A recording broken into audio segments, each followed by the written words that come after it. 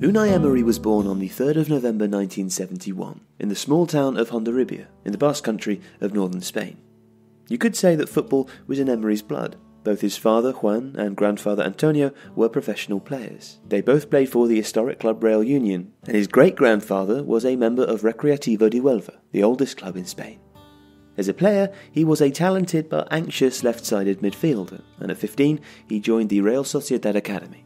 When he graduated, he made his professional debut for the under 19s in the Segunda Division B, the third tier of Spanish football, in 1990. For the next four seasons, he played for the Real Sociedad B team in the same league before making it to the first team in the 1995 96 season. He made his La Liga debut against Merida and went on to play four more matches, but this would be the only time he played in the top tier in Spain. He then moved to the Segunda Division with Toledo, Racing de Ferrol, and Leganes respectively. It was at Leganes where he formed a deep friendship with Juan Carlos Carcedo, a like minded teammate who would later become the right hand man in Emery's coaching staff.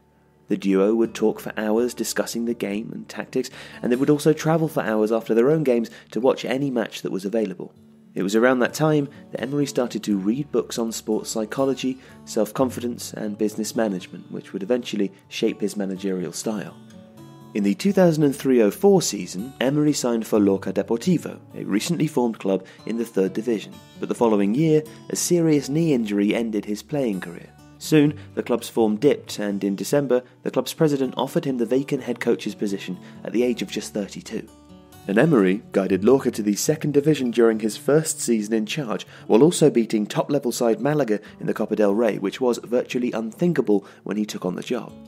Through his meticulousness on the training ground, he was able to positively change the mindset of the squad. There were 11 aside training sessions, for example, without a ball to ensure the perfect execution of his tactics.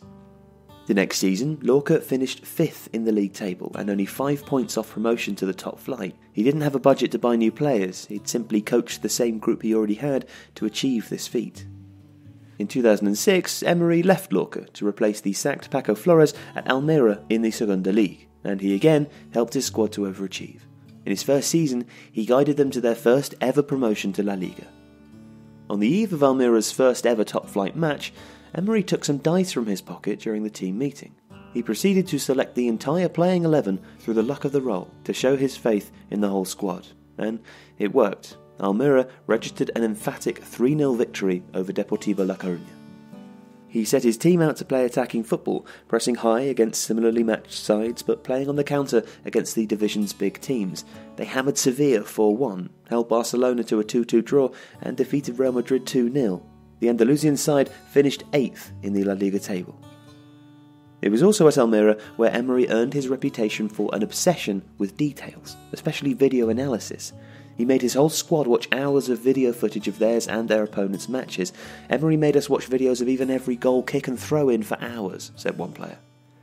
His stock continued to rise, and Valencia came knocking, where he would replace Ronald Koeman in the 2008 09 season.